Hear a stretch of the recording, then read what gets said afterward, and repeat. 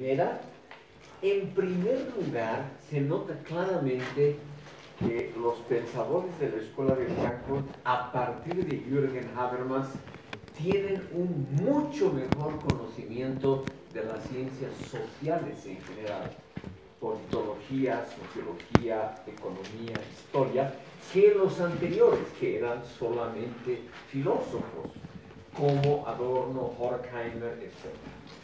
Entonces aquí tenemos un involucramiento mayor y un conocimiento mucho más elevado de las ciencias sociales y en general de lo que pasa en el mundo en comparación con la primera fase de la escuela de Frankfurt que era más filosófica y hasta podríamos decir algo literaria.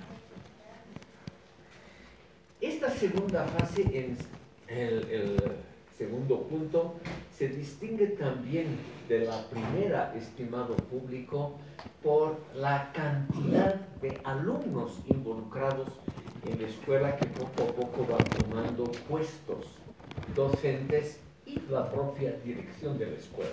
El actual director de la, escuela, Axel Honet, cuya obra vamos a ver en la última es un alumno de Habermas, un alumno de la escuela de Frankfurt que, dicen sus enemigos, ayuda solo a la reproducción de la vieja escuela.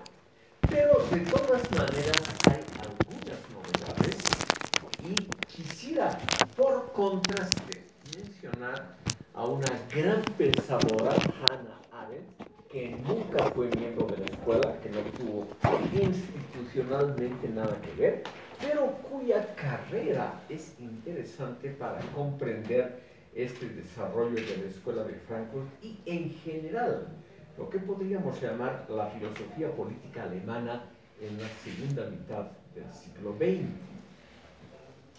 Por eso permítanme ustedes, por contraste, mencionar solamente unos minutos algunos datos sobre esta pensadora.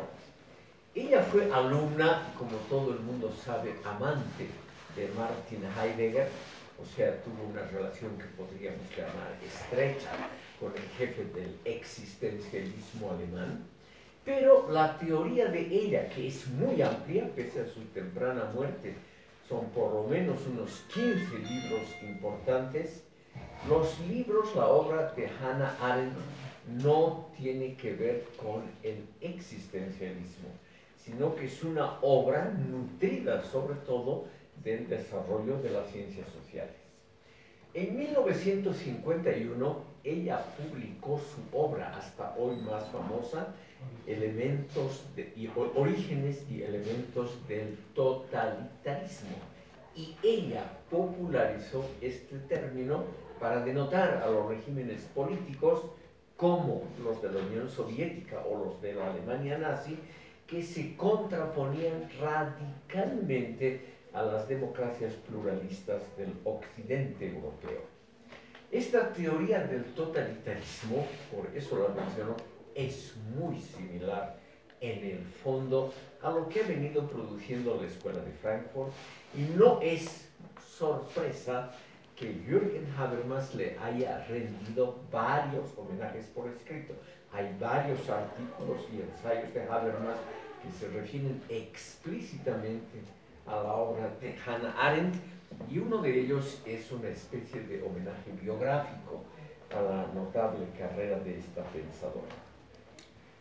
¿Qué tenemos entonces? Resumiendo y con eso termino de referirme a esta gran pensadora. Tenemos un involucramiento mayor en las ciencias sociales, sobre todo politología, sociología, economía, mucho más que antes. Es altamente probable que Horkheimer y Adorno nunca hayan leído un tratado de economía, o si ni siquiera la prensa cotidiana estaba muy por encima de esas pequeñeces. En cambio, la obra de Hannah Arendt es una, la, orígenes y elementos del totalitarismo.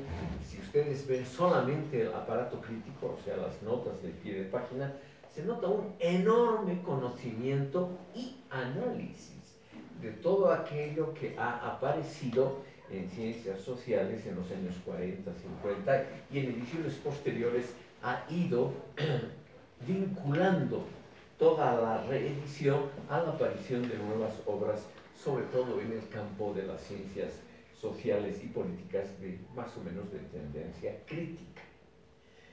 Jürgen Habermas es un exponente de esta tendencia.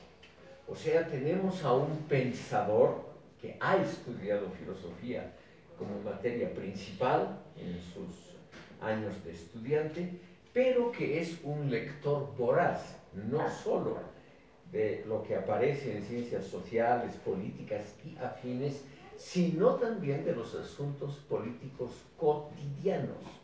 Y es también una persona que ha intervenido muchas veces en la política práctica alemana.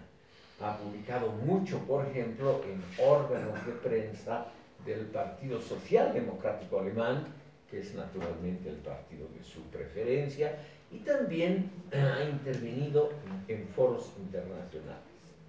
Tal vez como último y tercer punto podemos mencionar otra diferencia. Los actuales miembros de la Escuela de Frankfurt tienen un carácter mucho más cosmopolita, abierto al mundo que los anteriores. Adorno, Horkheimer y hasta Marcuse nunca habían pisado algún país fuera de dos o tres de Europa Occidental y Estados Unidos. En cambio, tenemos a Habermas que ha participado en una multitud de foros internacionales, incluyendo muchos en América Latina, y que ha dedicado una gran parte de su vida a ser profesor catedrático en las universidades más disímiles que uno pueda imaginarse.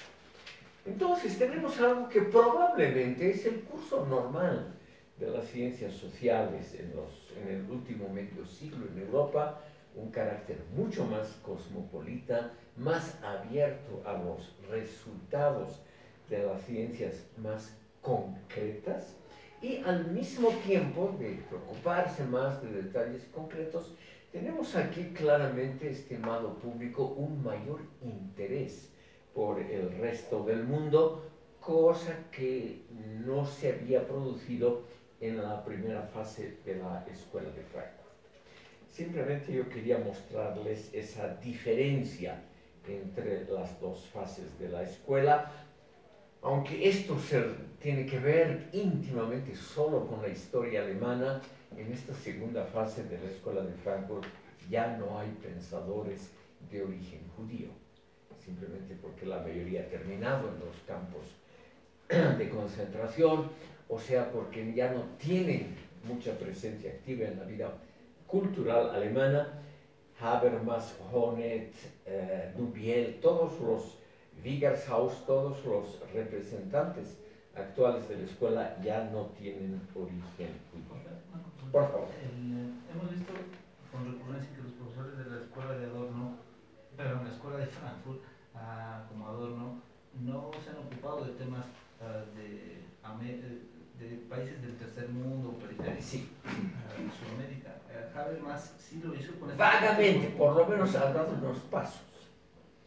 Eh, como se dedican a cosas altamente abstractas, en realidad no estudian a ningún país del mundo. Tampoco Habermas tiene ningún ensayo que se llame, qué sé yo, la coyuntura política alemana del momento, o qué tiene que ver el desarrollo económico alemán del instante con teorías filosóficas, no tiene nada de eso.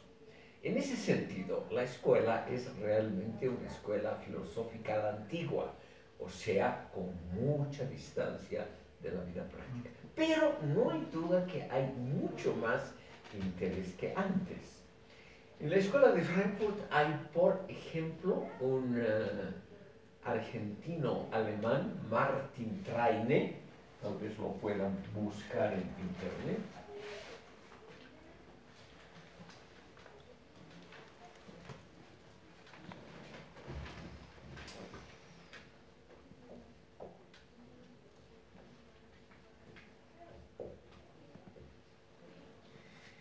Y este señor ha publicado ya hace algunos años un libro que se llama La nostalgia por lo totalmente otro.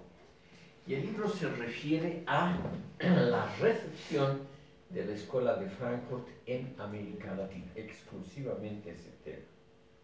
por ejemplo, además de mi modesta persona, ahí está muy ampliamente mencionado el boliviano René Antonio Mayorga, que como ustedes saben ha dado la espalda a la actividad pública y se ha retraído, en parte porque ustedes tampoco jamás lo han invitado ni se han interesado. Eh, eh, sí, sí, hay es la verdad. Eh, hay evidentemente un interés mayor, no digo que sea intenso, solamente en términos relativos un poco mayor que antes, sobre todo entre los miembros jóvenes de la Escuela de Frankfurt. Eh, la escuela hoy en día tiene una revista, otra vez después de muchísimos años, una revista que se llama Revista de Investigaciones Sociales, como la antigua, con un nuevo subtítulo.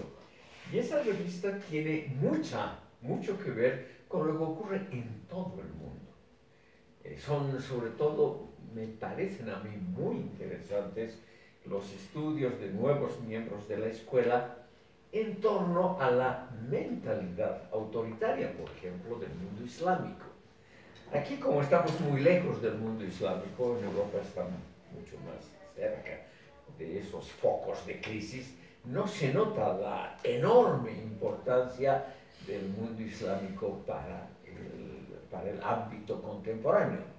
Pero estando en Europa se nota inmediatamente la importancia de esa dimensión, o sea, de ese conjunto de cerca de 60 países que conforman la conferencia islámica y que tienen un peso, aunque están peleados entre sí, pero que tienen un peso naturalmente creciente en los asuntos públicos y culturales para los muy, muy interesados que siempre hay, para también precisar la pregunta de usted, hay un notable investigador egipcio.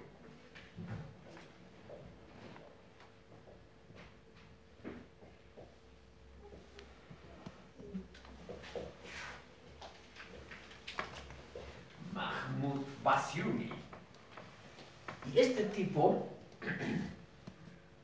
ha tratado de demostrar, estimado público, que el derecho islámico consuetudinario no es tan reaccionario como uno se imagina, sino que empleando teoremas y conocimientos de la Escuela de Frankfurt ha tratado de mostrar que el derecho consuetudinario islámico realmente pertenece a las grandes obras racionales de la humanidad. Eh, yo conozco su libro solamente en alemán.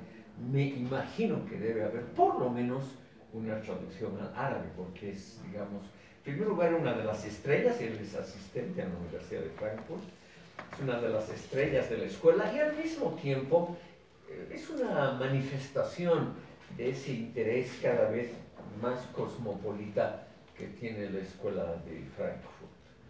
Esta escuela de Frankfurt, lamentablemente por razones de tiempo no podemos dedicarnos, ha sido particularmente intensa la reflexión en el Brasil. O sea, allí han aparecido en portugués casi todas las obras de los corifeos de la escuela y al mismo tiempo hay una dedicación importante sobre temas brasileños, pero fructificados con la influencia de la escuela de Frankfurt. O sea, digamos que hay un interés creciente.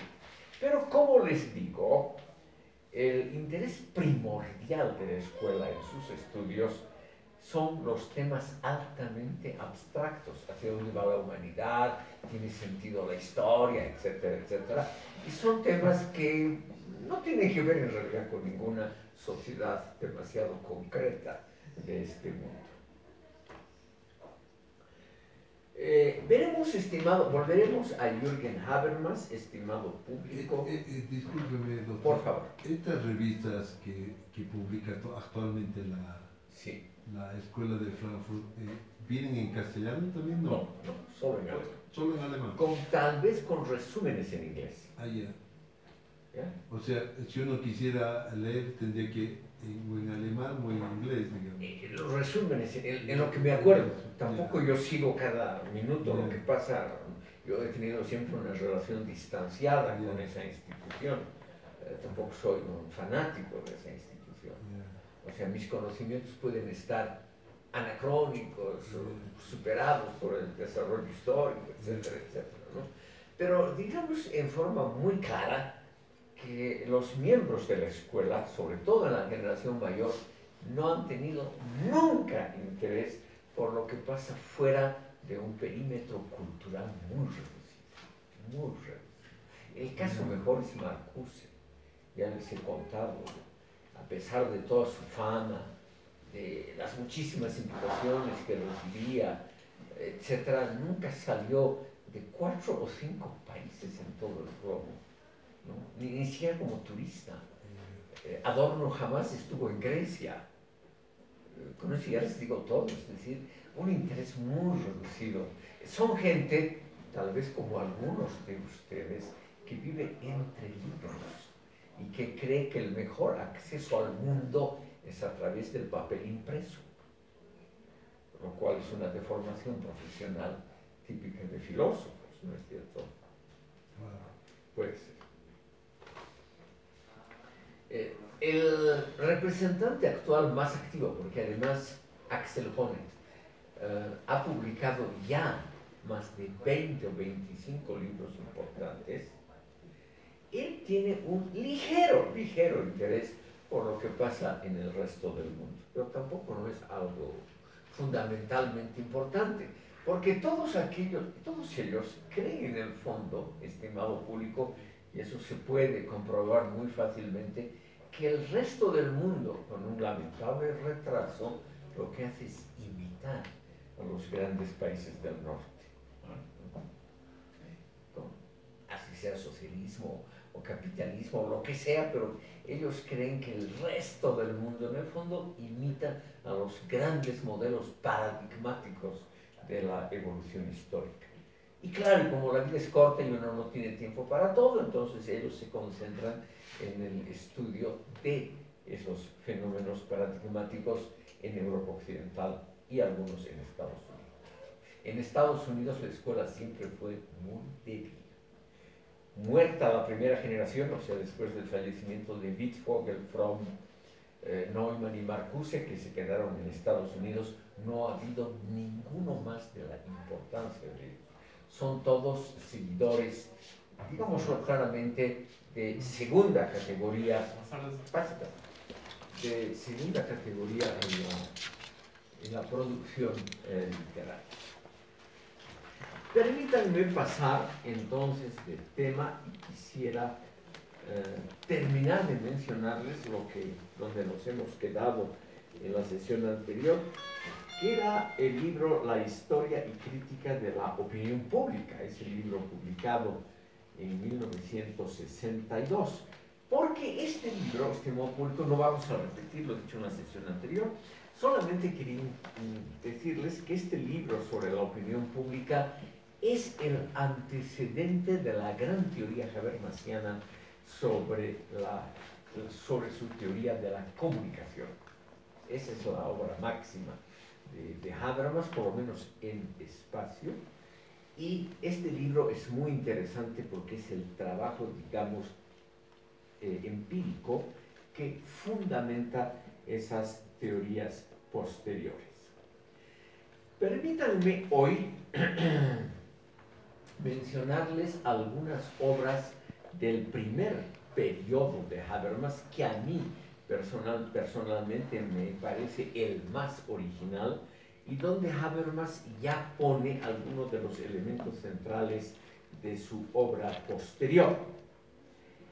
Y este, estas obras de Habermas, desde las primeras publicaciones, Teoría y Praxis, como se escribe exactamente como digo, no lo pongo a la Teoría y Praxis, un año después, de 1963, es de este primer periodo la obra filosóficamente, eh, digamos, más interesante y más fructífera de Habermas. En esta obra, este módulo es una colección de ensayos. En esta obra, él pone los puntos sobre las CIES en tres temas importantes que van a ser decisivos para la teoría habermasiana. Entonces, él propone el abandono de las grandes especulaciones sobre filosofía de la historia, porque ya no puede decirse nada realmente novedoso después de Marx, con Hegel, todos esos grandes, y lo que ha pasado durante el siglo XX, o sea, la praxis que desautoriza la teoría, por eso el nombre del libro, la praxis cotidiana del mundo, tanto en Oriente como en Occidente, que desautoriza los grandes pronósticos optimistas de la filosofía racionalista, entonces según Habermas no hay que preocuparse más por la filosofía de la historia porque no se puede decir nada sustancialmente nuevo que no haya sido ya enunciado por los grandes maestros, los desautorizados por la historia, y por los pesimistas a ultranza como Horkheimer y Adorno. Entonces, estimado público, lo que se nota claramente en Habermas es una tendencia a estudiar casos concretos, como por ejemplo el que hemos visto, la formación de la opinión pública. Es un tema muy interesante, excepcionalmente relevante hoy por la importancia de los medios masivos de comunicación, pero al mismo tiempo como es un tema eh, muy unido a la empiria, a los datos empíricos, es un tema que no permite grandes especulaciones sobre filosofía de la historia. Entonces, lo que hace Habermas, estimado público, es abandonar, ya no hay algo así como la dialéctica negativa o como la dialéctica de la ilustración, él abandona los grandes temas de filosofía de la historia y se concentra en el análisis de aspectos relativamente más concretos, es decir, en términos comparativos más específicos que los estudios de sus maestros Adorno y Horkheim. Eso lo lleva también a abandonar el teorema de la alienación o de las alienaciones modernas a las cuales están, como ustedes saben, sujetos todos los habitantes de esos países. Él cree que se ha abusado del tema, que tampoco no hay nada nuevo que decir, el tema de la alienación o cosificación, enajenación, como quieran ustedes llamarlo, estuvo muy de moda todavía en los años 50. Sartre y otros pensadores, Lukács, otros eh, pensadores importantes, han vuelto a tratar el tema. Pero Habermas cree que el tema ya ha sido iluminado y que no se puede decir nada sustancialmente novedoso acerca de las alienaciones modernas. Y es más, creo que el tema de las alienaciones modernas no permiten explicar adecuadamente hacia dónde va el capitalismo contemporáneo. Finalmente, estimado público, Habermas cree que toda investigación, también en filosofía, debe actualmente estar basada en conocimientos empíricos e históricos. Eso se ve muy claramente en sus obras posteriores, que muchas de ellos son ejemplos, o están basadas en ejemplos claros, y no tanto en especulaciones. La dialéctica negativa del gran Adorno, por ejemplo, no contiene ningún, ningún dato importante de los, del desarrollo histórico alemán de los países importantes de Europa Occidental. Entonces, Habermas estimó público es una muestra también del espíritu escéptico y probatorio de nuestra época. Nosotros ya no somos proclives a abandonarnos a grandes especulaciones filosóficas, como lo han hecho pensadores anteriores. Fuera de la escuela también grandes pensadores como Heidegger.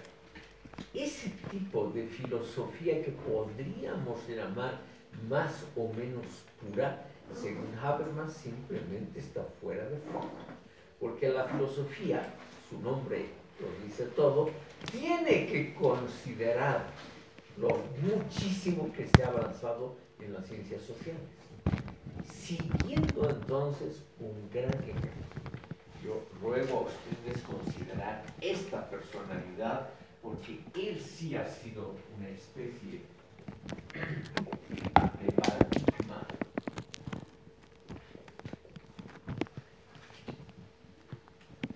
Encima la encuadro para que ustedes vean plásticamente la importancia para Habermas y para la Escuela de Frankfurt en su fase eh, segunda. Max Weber, estimado público, es el ejemplo justamente de un pensador que dedica su vida a compilar datos empíricos y que solamente produce teoría en el sentido, por ejemplo, de filosofía de la historia, muy poca, a base de un enorme material empírico documental. Como ustedes tal vez saben, Max Weber murió muy joven, antes de cumplir los 60 años, en medio, murió repentinamente, en medio de sus investigaciones, pero posteriormente los alumnos todavía hoy se siguen publicando materiales del archivo de Max Weber que no están, que no, no tiene frases hechas, pero que muestran los enormes, el enorme interés que él sí tenía por otras culturas. Él ha dejado ocho volúmenes de notas sobre la ética laboral, ya es un tema bien concreto, sobre la ética laboral en relación a las grandes religiones, para mostrar, estimado público, que la religión, tema favorito de Max Weber, que la religión siempre ha tenido una enorme importancia sobre la vida cultural, rebatiendo así la tesis marxista de que la economía es la base de toda la vida social.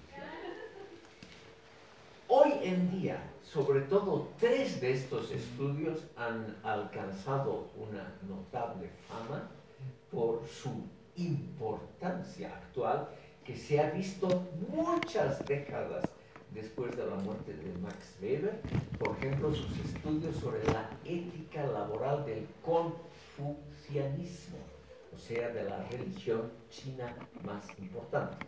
Eh, no necesito de ninguna manera, ustedes chicos bien informados, decir algo sobre la importancia económica y política de la China y sobre, obviamente, su ética laboral cómo trabajan los chinos, por qué trabajan como trabajan, por qué rinden mucho y cobran poco, lo cual es lo ideal para un empresario, ¿no es cierto? Si ustedes fuesen empresarios estarían encantadísimos de tener una masa asalariada con la ética laboral de los chinos. Luego, el famoso estudio de Max Weber sobre la ética laboral en relación con el budismo también ha demostrado que las sociedades afectadas por el budismo pueden tener en otros campos eh, aspectos muy notables, pero no son eficientes para el mundo moderno. Y finalmente el caso más grave, y lo menciono al final porque es la obra más consultada hoy en día de Max Weber, sus estudios sobre la ética laboral del mundo musulmán, del mundo islámico donde él también demuestra que el mundo musulmán es un, como el budista, es un mundo profundamente antimoderno. No solamente es no moderno, sino que es claramente antimoderno. Y que por lo tanto ese mundo, si es que persevera en su religión como factor de identidad cultural, nacional y colectivamente, ese, ámbito musulmán va a tener enormes dificultades en ingresar al mundo moderno. Ese tipo de estudios es el que le interesa a Habermas. O sea, estudios bien hechos, pero de amplia base. Max Weber realmente estudió, antes de algo sobre el Islam, todo material que hubiese sido publicado en idiomas occidentales, todo, es decir, el archivo que se puede ver, el archivo de, de Max Weber es realmente algo inmenso. Es una persona realmente dedicada exclusivamente al estudio, yo diría, las 24 horas del día. Algo que debería ser ejemplar, no digo obligatorio, algo que debería ser ejemplar para ustedes. Así, un tipo que produce eh, sobre el Islam, sobre el budismo, además de sus estudios clásicos, sociedad y economía, la ética protestante y la ética, eh, perdón, la religión protestante y la ética del capitalismo, ese tipo de estudios bien fundamentados en documentos y en casos concretos es también lo que ha tratado de hacer Habermas. Y por eso es interesante que dediquemos unos minutos a la crítica interna dentro de la Escuela de Frankfurt, que se inicia con este libro, Teoría y Praxis, de 1963. Porque el título ya es una especie de programa. Él no solamente critica la muy compleja relación entre teoría y praxis en todas las actividades humanas, sino dentro de las actividades de la Escuela de Frankfurt. Es un ejemplo brillante de autocrítica. O sea, es alguien que dice, ¿por qué no empezaré mi vida profesional criticando a mis profesores, a mi escuela? No quiere decir echando por la borda a sus profesores, de ninguna manera, sino simplemente viendo las limitaciones de los mismos. Él cree que la antropología filosófica de Adorno y Horkheimer es excesivamente pesimista y que ha sido, en ambos casos, o sea, Adorno y Horkheimer,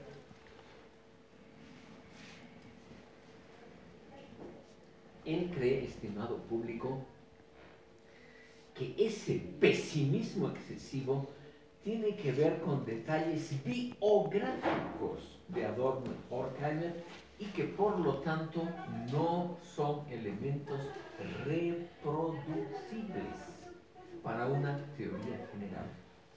En una palabra, Adorno y Horkheimer habrían sido víctimas como judíos, como del nazismo, etc., habrían sido víctimas de su propia biografía y por lo tanto la posición extraordinariamente pesimista que se refleja, por ejemplo, en la dialéctica de la ilustración, en la dialéctica negativa, etc., sería una, una manifestación de esa biografía personal que estaba asignada por la persecución, el exilio, la pérdida de las familias, la pérdida de los amigos, etc., pero que no permite una generalización para todo el resto del mundo.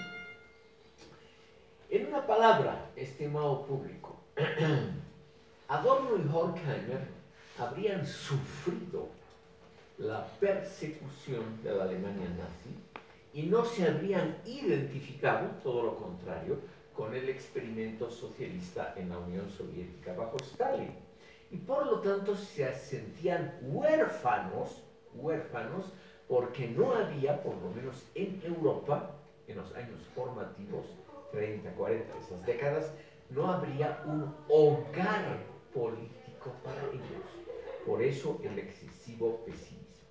Pero en cambio, Habermas, ustedes ven aquí la fecha de nacimiento, o sea, cuando él tiene recién 20 años, ocurre la fundación de la República Federal de Alemania, o sea, de la Alemania actual. Y ese eh, experimento, que ya, como ustedes ven, está durando 70 años, ese experimento resulta muy exitoso democráticamente. Cosa que cuando se publicó la dialéctica negativa, 1966, o la dialéctica de la ilustración, 1947, antes de la fundación, de ese estado no se podía saber.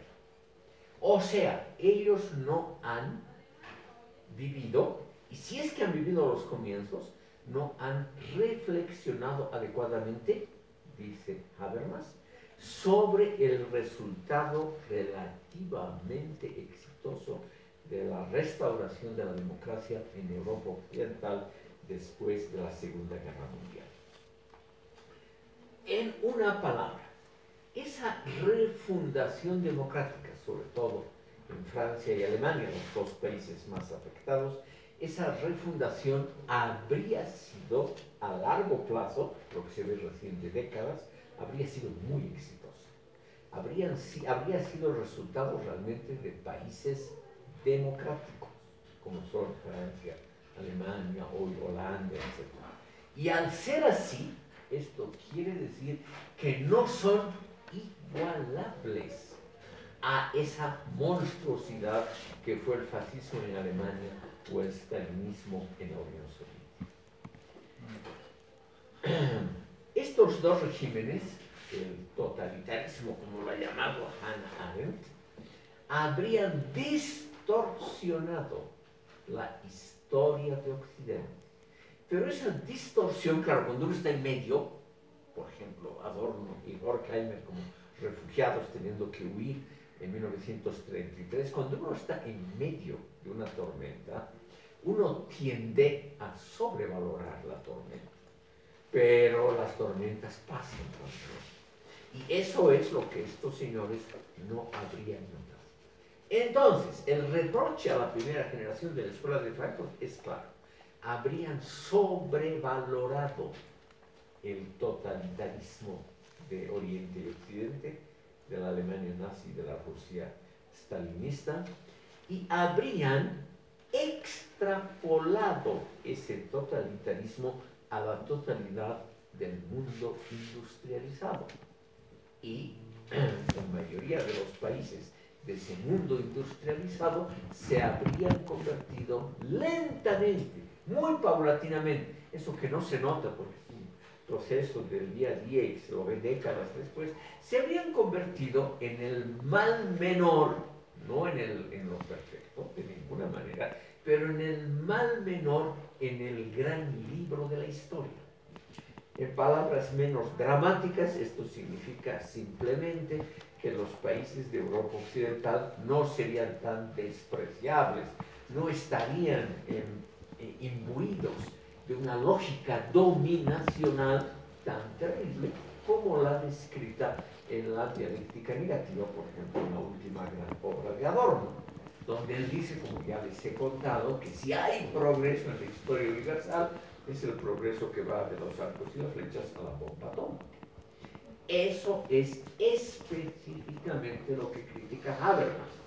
Y él dice, aparte, aparte de la bomba atómica, no se puede llegar estas sociedades han construido sistemas de seguridad social relativamente amplios que funcionan relativamente bien. Hay el predominio de las libertades políticas. Son países donde hay un juego democrático para todos los actores. Otra cosa es que las tendencias izquierdistas nunca han tenido mayorías claras en elecciones limpias en los países de Europa Occidental, el Partido Comunista, etcétera, nunca logró ninguna mayoría en ninguno de los países. Entonces, una desilusión de un pensador que a uno le mueva el piso como a pensador, que cree ver la utopía al alcance de la mano, eso no significa que la realidad sea tan mala como creen utopistas, críticos extremos, artistas, etc. Obviamente esta, esta trilogía, artistas, eh, utopistas, etcétera, intelectuales de izquierda, está dirigido contra Adorno, contra su gran maestro Adorno, que creyó que si no hay eso, lo que queda es la dialéctica negativa, lo que queda es simplemente la basura que es la historia moderna. Y Habermas dice, no es tal basura, la historia moderna hay que verla diferenciadamente. En lugar de criticar desde la cátedra bien pagada, pero alejada de los asuntos mundanos, hay que investigar cómo funciona la seguridad social, hay que investigar cómo funcionan, por ejemplo, los, los partidos políticos en su democracia interna, hay que ver cómo funcionan los medios culturales, para los cuales hay una libertad casi irrestricta en Europa Occidental, en lugar de decir el mundo de las alienaciones modernas es una jaula inescapable, como lo creía Adorno, hay que ver, por ejemplo, la emancipación de la mujer, cómo ha progresado eso notablemente, cómo es que en Alemania una primer ministro, una canciller de hierro, como la señora Angela Merkel dirige el país y su partido, eh, sin tener ninguna cualidad claramente masculina, es una persona conciliante, pero con mano de hierro. Entonces hay que ver, dice Habermas, que la realidad siempre es más compleja que las elucubraciones de los filósofos. Esto está naturalmente dirigido a sus maestros. Entonces, los maestros habrían tenido, como les decía, un pesimismo antropológico exagerado, un escepticismo cognoscitivo, un pesimismo con respecto a la historia y un escepticismo con respecto a nuestras facultades de comprender, de conocer el mundo. O sea, un pesimismo antropológico y un escepticismo cognoscitivo. Y ambos, dice Habermas, son exagerados simplemente porque no concuerdan con la muy compleja realidad del mundo moderno, que es un mundo insolidario, no hay duda, un mundo de egoístas, pero al mismo tiempo es un mundo complejo, que no se lo puede describir solo usando categorías muy generales como las alienaciones que sufre el ser humano, porque eso sería solo una parte. Ustedes son el mejor ejemplo, chicos. Yo estoy seguro que ustedes esta noche en la discoteca es un espectro metafórico, con actividades similares. Ustedes van a estar contentos. Ustedes van a decir, ese mundo descrito por Adorno Horkheimer en la dialéctica de la ilustración, ese mundo terrible, inescapable, etc. Esto es una exageración. No nos va tan mal, van a decir ustedes en la discoteca Claro, no tenemos todo lo que tenemos, no somos millonarios, no tenemos poder político todavía en nuestras manos, pero tan mal no nos va. Es decir, no es esa atmósfera tenebrosa descrita en las primeras obras de Adorno Horkheimer. El mundo, ustedes van a decir, es pues diferente a lo que piensan los filósofos. Simplemente es más colorido, en una metáfora para decir más complejo, de lo que se imaginaron los grandes pensadores.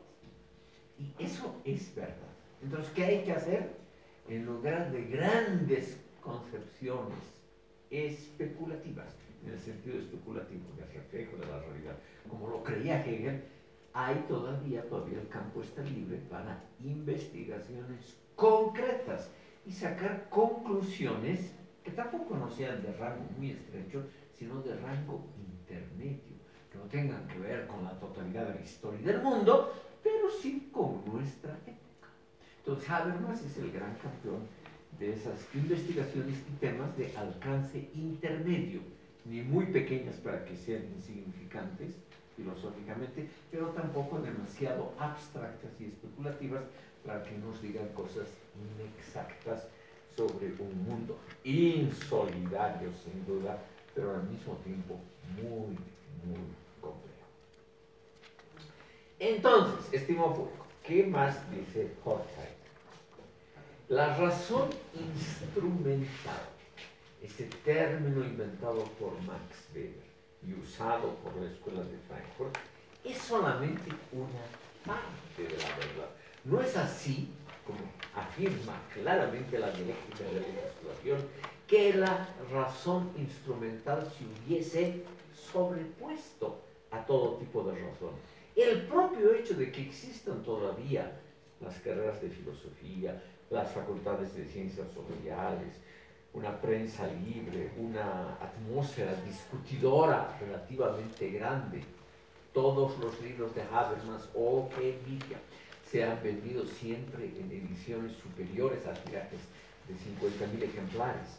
O sea, quiere decir que hay nomás una colectividad, que tampoco no es muy grande, es una minoría, pero ya no son personas aisladas, ya no es la torre de marfil donde Adorno quería refugiarse para estar libre del mundo tan feo, tan horrible, sino que hay nomás una comunidad discutidora a nivel mundial que se interesa por poner en duda el mundo y a esa comunidad no le pasa nada, no termina en campos de concentración.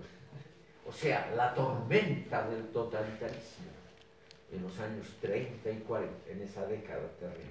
Esa tormenta ha sido violenta, pero no es el estado climático general. El estado climático general es, estimado público, el aburrimiento, porque no pasan grandes cosas, tampoco pasan grandes cosas bellas, pero tampoco cosas catastróficas cada momento. Entonces, lo que tenemos que estudiar son los matices grises, los que están entre el blanco de la utopía el negro del totalitarismo. Y esos tonos grises, muchos, eso es lo normal y lo habitual en el mundo moderno. Entonces, está bien que se critique la razón instrumental, término que Habermas poco a poco va dejando de utilizar. O sea, lo usa cada vez menos eso. Nunca deja de utilizarlo, pero cada vez menos. Porque no es verdad, dice él, que la razón instrumental se haya sobrepuesto totalmente a la razón global, como lo creyeron Adorno y Horkheimer, probablemente influidos por ideas catastrofistas de Friedrich Nietzsche y Arthur Schopenhauer. O sea, el mundo no ha sido tan catastrófico. Todo lo que investigamos no, es, no son meras metáforas.